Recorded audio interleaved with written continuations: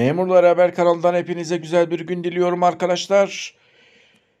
EYT düzenlemesi az önce geçti. Videolaştırmıştık. Şimdi detaylara bakalım. Taşeron iş arkadaşlarının da önemli detayları var. EYT düzenlemesiyle taşeron işlerin zorunlu emekli edilmeleri de kaldırılacak arkadaşlar. Başkan Erdoğan açıkladı. Hayırlı uğurlu olsun. Hem 99 öncesinde yaş bekleyen 2 milyon 250 bin kişi bağ kuruludur. SSK'lıdır fark etmeksizin direkt emekli olabilecek ve zorunlu olarak taşeron işler emekli edilmeyecek. İsteyenler emekli olacak arkadaşlar. EYT bekleyenlere hayırlı uğurlu olsun. Cumhurbaşkanı Recep Tayyip Erdoğan EYT düzenlemesiyle ilgili açıklamalarda bulundu. EYT düzenlemesi uzun ve kapsamlı bir çalışmanın ardından nihai halini almıştır. EYT düzenlemesi devlet için büyük bir fedakarlık anlamına gelen bu düzenlemeyle artık sistemi her türlü tartışmadan arındırarak yerli yerine oturtacağız. Emeklilik hakkını kullanılması hususunda herhangi bir yaş sınırı uygulanmayacaktır. EYT düzenlemesiyle yaklaşık 2 milyon 250 bin vatandaşımız emekli olma hakkına kavuşuyor. Yaş şartı olmadan emekliliğe imkan sağlayan düzenleme eski sistemdeki SSK, Bağkur, emekli sandığı ayrım olmaksızın mevcut yapıdaki herkes için geçerli olacak ve yaş şartı yok arkadaşlar. Kadınlarda 20 yıl, erkeklerde 25 yılı dolduran ve prim gün sayısını dolduran herkes yaşı isterse 45 olsun emekli olacak. 99 öncesi için altını çiziyorum. 99 sonrası için değişen hiçbir şey yok. Eğer SSK ya da herhangi bir priminiz 1999 sonrası, Eylül 1999 sonrası ise size hiçbir şey değişmiyor arkadaşlar. Şu an yaş hangi yaşı bekliyorsanız o yaştan önce emekli olamayacaksınız. Taşerondan kadroya alınanlar hemen emekli olmayı tercih etmeyecekler için ayrı bir geçiş düzenlemesi hazırlıyoruz dedi Başkan Erdoğan. Yani taşerondan kadroya alınanlar arkadaşlar resen emekli edilmeyecek, isteyenler emekli olacak.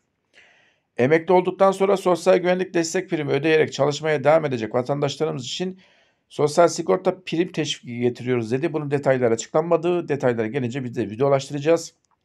EYT'de yaş sınırı olmayacak.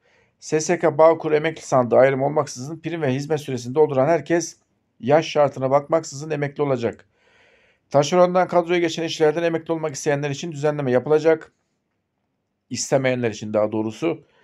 Erkeklerde askerlik borçlanması, kadınlarda doğum borçlanması kabul edilecek. Emekli olduktan sonra çalışmaya devam edenlere sigorta primi teşrifi verilecek. 2 milyon 250 bin kişiye emeklilik hayırlı uğurlu olsun arkadaşlar. Keşke 99 sonrasına da en azından yaş şartı şöyle bir 5, 5 yaş aşağı çekileydi tadından yenmezdi ama sadece 99 öncesini kapsıyor arkadaşlar maalesef.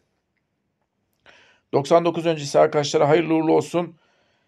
Emeklilikleriniz birçok arkadaş benim de etrafımda var. Direkt yaş şartına takılmadan emekli olacak. Ama şu an ilk kez SSK'lı olan herhangi bir kişi 65 yaşından önce emekli olamayacak. 18 yaşını doldurmuş şu an SSK'ya primini bugün itibariyle ödemiş herhangi bir Türk vatandaşı ya da şu an doğan bir çocuk 65 yaşından önce emekli olamayacak arkadaşlar. İsterse 150 bin gün SSK primi ödesin. Tabii ki böyle bir prim ödeme günü yok ama hani mübalağa yapıyoruz. Yani 65 yaşından önce emekli olamayacak. Şu an itibariyle 99 sonrası herhangi bir Türk vatandaşı. Keşke bunda dediğim gibi şöyle kadınlarda 55 yaşa, erkeklerde de 60 yaşa çekilseydi tadından yenmezdi ama şu ana kadar böyle bir olay gelmedi. Durum bu şekilde arkadaşlar. Daha da detaylı bilgiler aldıkça videolaştıracağız. Tekrardan EYT düzenlemesi hayırlı uğurlu olsun. Tayin hakkıdır. Zorunlu emekliliktir. Taşerona kadrodur. 12 ay maaştır.